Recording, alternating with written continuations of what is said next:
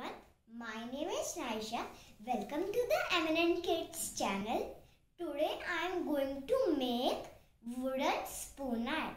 I will make a girl, a rabbit and a honeybee. So let's start. We will paint this wooden spoon with paint and we paint for rabbit light pink color for honeybee yellow and for girl skin color. So let's paint.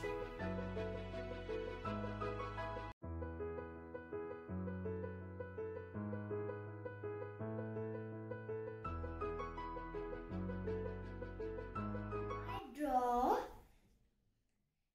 two circles from honeybee and rabbit and one triangle for the girl. I use bottle cap to make circle.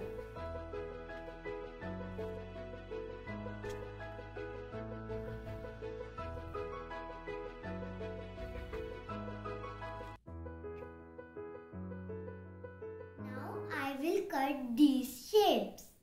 Magic magic shoe. Let's paste them on the spoon.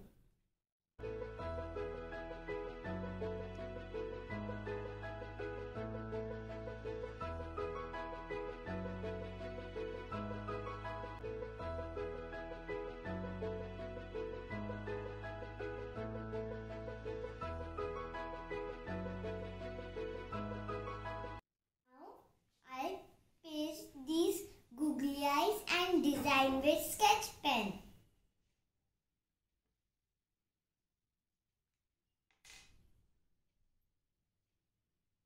These are ready and these are looking very cute and beautiful. I will stand these on the clay.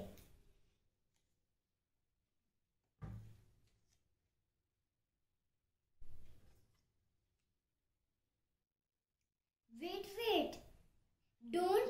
forget to like and subscribe my video. Thanks for watching.